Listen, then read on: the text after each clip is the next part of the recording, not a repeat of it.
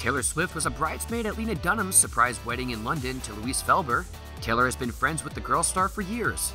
A source at the wedding told The Sun that Taylor showed up for Lena and gave her a really sweet speech celebrating them as a couple and congratulating them.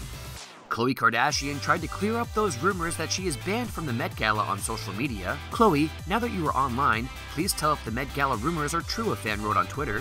The reality star responded, absolutely not true. Khloe and her sister Kourtney have never attended a celebrity filled event. Kim, Kendall, and Kylie have all attended the gala on multiple occasions, along with their mother Kris. Rita Moreno opened up to Variety about her amazing career. The West Side Story icon will turn 90 in December. She is set to return to the screen in Steven Spielberg's West Side Story remake. She has a small role and will also serve as an executive producer. I love what I do, she told the magazine. The only way I can retire is if I can't walk. I love what I do, she told the magazine. The only way I. I love what I do, she told the magazine. The only way I can retire is if I can't walk. And even then, there's always a wheelchair or roller skates.